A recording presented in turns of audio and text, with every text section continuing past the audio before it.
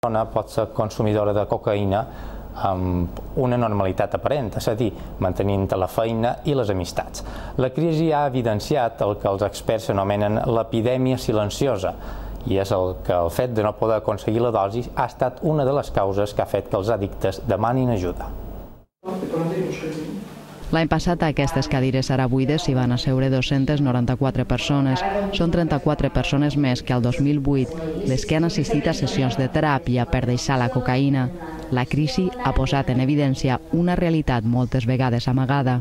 El fet de no tenir feina perden poder, poder adquisitiu, amb la qual el problema s'agrava i també acudeixen en el tractament.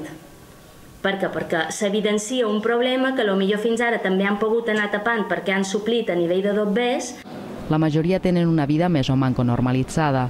Els que acudeixen a Projecte Home són consumidors des de fa 10 anys i és que la cocaïna és una droga que es pot dissimular millor que d'altres. La heroína, en, en pocos meses, el rostro de la persona que consume se le ve, se le nota, lo percibes. En cambio, el rostro de una persona que abusa de la cocaína és a largo plazo, a larguísimo plazo. Això sí, no és ni molt menys una droga innòcua. Un de cada quatre usuaris pateix malalties mentals. Parlant de depressions, bipolaritat, esquizofrènies, anorèxies, en la lluita contra la cocaïna, el programa Hora Baixa, el que ara té més demanda, du 10 anys. Al llarg del temps hi han hagut canvis com que al principi s'associava a cert estatus social. Ara ja no hi ha classes. Un home d'uns 33 anys seria el perfil d'usuari que per amagar la seva por o per manca d'autoestima és addicte d'aquesta droga.